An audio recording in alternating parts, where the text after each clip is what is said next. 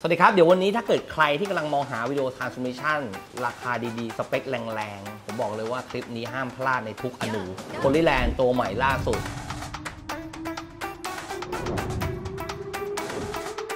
อุปกรณ์ video transmission เนี่ยมันเป็นเรื่องของการส่งสัญญาณ ภาพมาเข้าจอมอนิเตอร์ในงานต่างๆ ทั่วๆไป หรือในงานกองวันนี้เรา test กันมาหมดเลย ตัวเนี้ยเราจะเรียกมันว่า Pyro ซึ่งมันออกมา 2 ตัวตัว H กับตัว S เบื้องต้นเรามาดูสเปคหลักๆ ก่อนของตัวไพโร H แน่นอนว่าโดยปกติเนี่ยตัวรับกับตัวส่ง เราก็จะเชื่อมต่อถึงกันใช่ไหมฮะ แต่ว่าทีนี้เนี่ยความพิเศษของตัวนี้ก็คือ เราสามารถจะ extend ผ่านแอปพลิเคชันที่เขามี โดยที่เราจะใช้โทรศัพท์สมาร์ทโฟนได้อีก 2 เครื่อง เราจะเห็นว่าเรา connect แล้วเราจะเห็นว่ามันผ่านตัวรับ 1 ตัว และสามารถที่จะใช้โทรศัพท์มือถือหรือแท็บเล็ต iOS หรือ Android ก็สามารถจะโหลดแอปพลิเคชัน แล้วก็สามารถจะใช้ดูได้แยกออกไป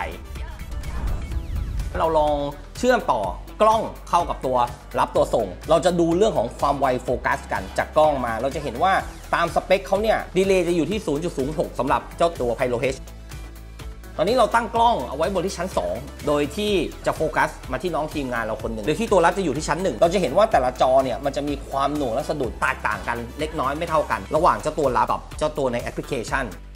จ้าตัวนี้สามารถส่งสัญญาณมาที่ตัวรับได้ที่ 4K 30 แต่ในขณะที่ถ้าเกิดว่าเป็นผ่านแอปพลิเคชันมือถืออาจจะได้ที่ Full HD ต้องบอกว่ามันก็อยู่ที่เรื่องของสัญญาณป้องกันไอ้พวกกำแพงมันมีอะไรเยอะขนาดไหนแล้วก็โทรศัพท์รับสัญญาณดีได้มากน้อยแค่ไหน ซึ่งจากในเทสเราจะเห็นว่าตัวที่ใช้อย่างสัญญาณตัวรับเนี่ยสัญญาณมันดีที่สุดและแน่นอนที่สุด ถ้าเกิดว่าเราใช้แอปพลิเคชันจากมือถือเนี่ยถามว่าดูได้ไหมมันก็โอเค ไม่มีปัญหา แต่ว่ามันอาจจะมีอาการกระตุกบ้างขึ้นอยู่กับตัวสัญญาณมือถือ คือเจ้าตัวนี้จุดเด่นอย่างหนึ่งก็คือมันเป็น dual band ความหมายก็คือมันได้ทั้ง 2.4 แล้วก็5 GHz 2.4อย่างที่ทุกคนรู้เนี่ยมันจะทะลุทะลวงได้ดีกว่านะครับเวลาเรามีกำแพงกั้นถ้าต้องการอยู่ใกล้ๆอย่างเงี้ย5กิกะเฮิรตซ์มันก็ได้สัญญาณที่แรง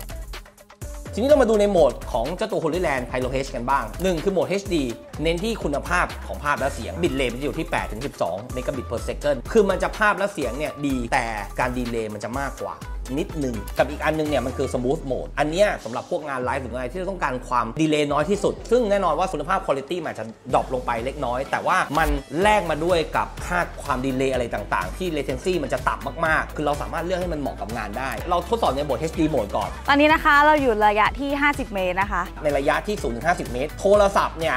จากแอปพลิเคชันเนี่ยเราจะเห็นว่าจะเริ่มมีการสะดุดแล้ว แล้วก็มีดีเลย์เล็กน้อยที่บางเครื่องอาจจะดับไป ถ้าเทียบกับเครื่องที่มันผ่านตัวรับเลยนะครับอันนี้ซึ่งอันนี้เรามาต่อมอนิเตอร์ที่เป็นของ Hollyland เราจะเห็นว่าภาพคมชัดเป็นปกติเลย อันนี้เราไปถึง 50-100 เมตร แล้ว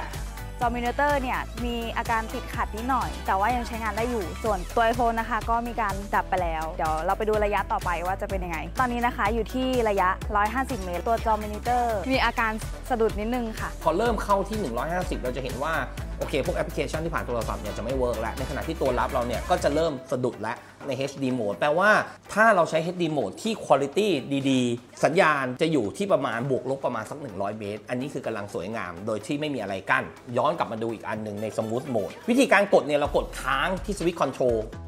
เลือก scene mode ให้เป็น smooth mode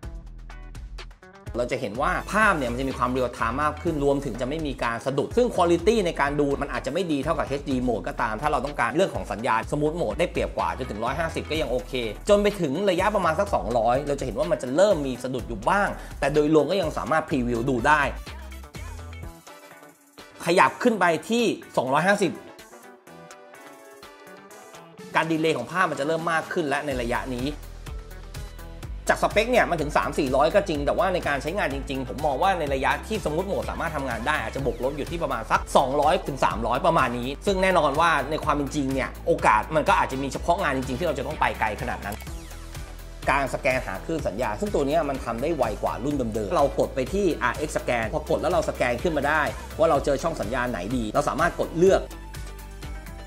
แล้วมันจะเปลี่ยนช่องสัญญาณตัวนี้รวมถึงเจ้าตัว TX ได้อัตโนมัติเลย ในขณะที่เจ้าตัวรุ่นเก่ามันอาจจะต้องออกมาเลือกช anel อะไรฟังก์ชัน คือมันจะต้องแบบมีขั้นตอน process ที่มันเยอะกว่า คือตัวนี้มันสามารถสตรีมมิ่งโดยตรงได้โดยที่ไม่ต้องผ่าน Capture Card ถ้าสมมุติว่าเราเอาไปเนี่ยเรียกว่าต่อสาย USB-C เส้นเดียวผ่านเข้าคอมดึงเข้า OBS Live Streaming ได้เลยทันที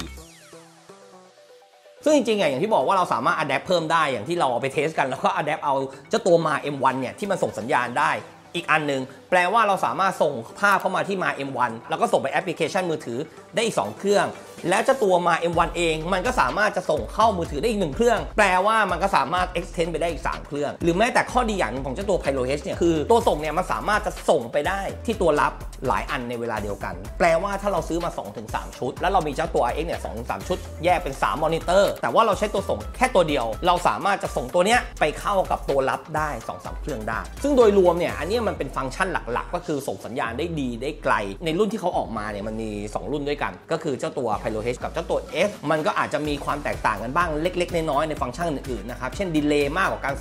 0.01 แล้วก็การดีไซน์ต่างๆ port ต่างๆ ถ้าเกิดว่าคุณจะซื้อตัว F เนี่ยเหตุผลหลักก็คือเขามี port SDI เข้ามาด้วยอันของบางคนบางกลุ่มที่คุณต้องการใช้งาน port เนี้ยยังไงก็ไม่มีทางเลือกต้องไปซื้อเจ้าตัวรุ่น S แต่ราคามันจะต่างกันเยอะอยู่พอสมควรจะ 20,000 กว่า โดยรวมสำหรับผมมองว่าถ้าคุณไม่ได้จำเป็นต้องใช้ port นี้เจ้าตัว H นี่คือตอบโจทย์มากอยู่แล้วในชั่วโมงนี้นะฮะก็ถ้าใครสนใจสามารถไปหาดูได้ที่ Big Camera ทุกสาขาเลยมีขายแน่นอน ขอบคุณด้วย Hollyland นะครับ แล้วก็ The Digital XCM ที่ส่งอุปกรณ์มาให้เราลอง test กันซึ่ง